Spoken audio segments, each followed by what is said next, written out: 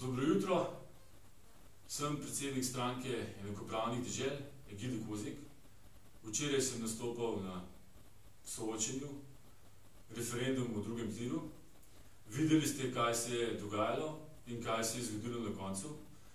Ves čas je vdaja potekala tako, da jaz ne bi prišel do besede, ker so se bali tehle dokumentov, ki bi jim morda malo razsvetlili um in misli, ko sem si na koncu le izboril besedo, da povem bistvo, kaj se v Sloveniji dogaja. Bistvo je to, da kar se je Jakob Aljaš boril pred stotimi leti, so sedaj dokončali Srbi. Srbi so nam odstavili Aljažov stolp, da bodo namestili dvoglavega orla.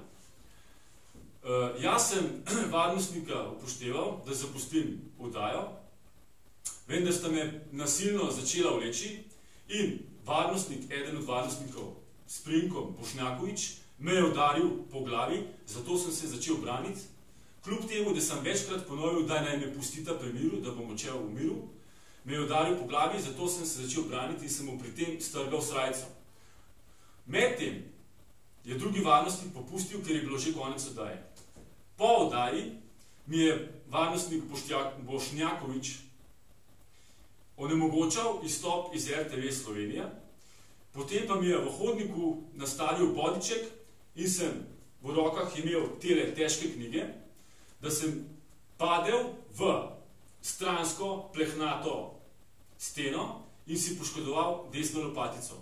Prav tako imam tukaj le zateklino, ki vam jo bom sedaj pokazal, da boste vedeli, zraven mene, zraven mene so bili tudi predsednik stranke Naprej Slovenija Blaž Svetek, predsednik stranke Zedinjena Slovenija Andrej Šiško, Ani Bidar in Ivan Bolfek.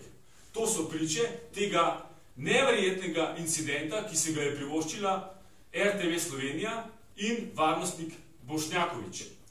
Potem smo na izhodu komaj prišli ven, ker nas niso hoteli spustiti, se moral preskočiti zadnjo ograjo in zbežati.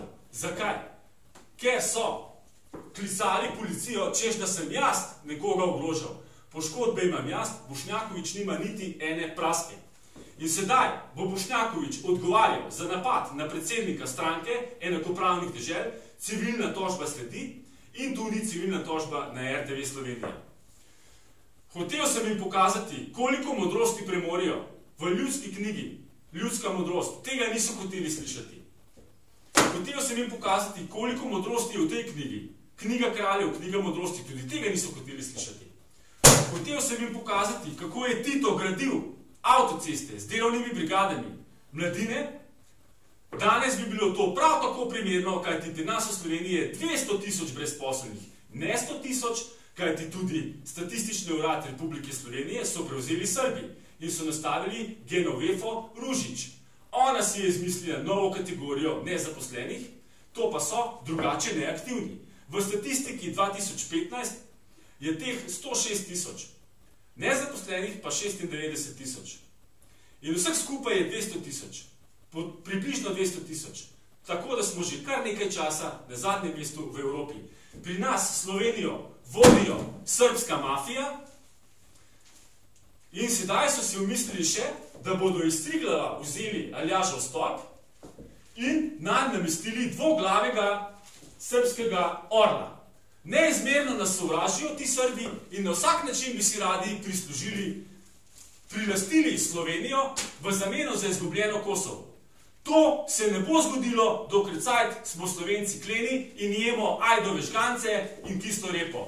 Srbi, ki pa jejo svinsko meso, pa ste videli, kako so agresivni.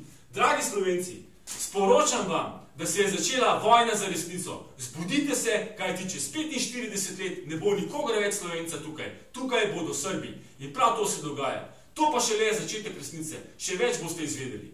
Hvala lepa za enkrat. Prosim, da se zbudite.